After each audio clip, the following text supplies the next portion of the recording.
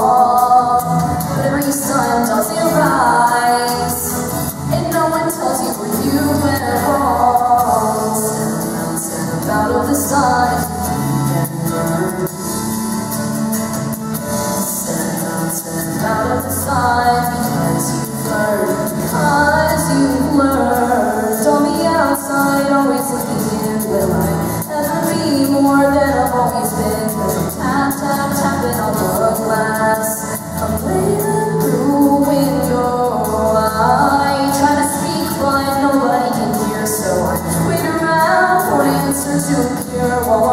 watch, watch, watch it go past.